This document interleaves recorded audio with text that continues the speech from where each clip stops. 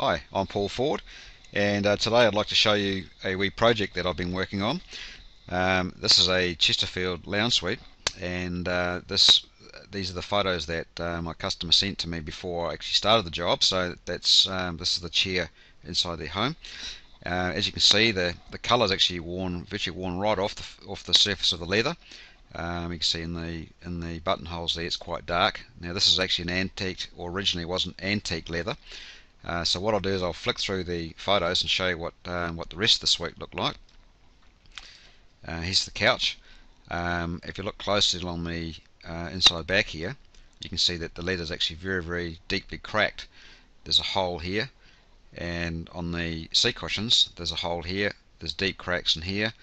So um, uh, yeah, it was. It's had a lot of love and a lot of use, but the couch, according to the or the suite, according to the owner, was was very very comfortable, and they wanted to keep it. So uh, here's another view of the, uh, the of the three seater, and you can see right across here. It's, it's mostly cracked down here, um, but the cracking extended down to the uh, the far end of the couch as well.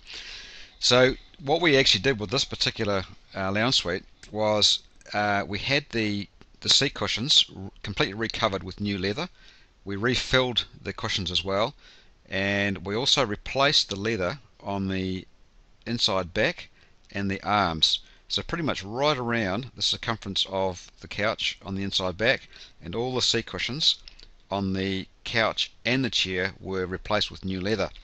And then um, then it was refinished back to original again. So I'll now flip over to the after photos. Um, so there you've got it. You can see the, the couch there.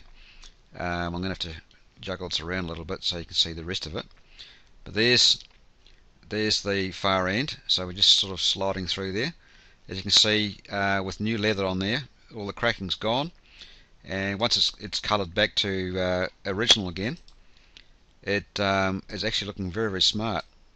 So what I'll do now is I'll flick through another view Here's the um, uh, here's another view of the couch. And what we did with this one here, um, the, the, one of the advantages of taking this thing apart and putting new leather in is, as you can see around here, uh, it's got new studs. So the old ones were looking quite tarnished.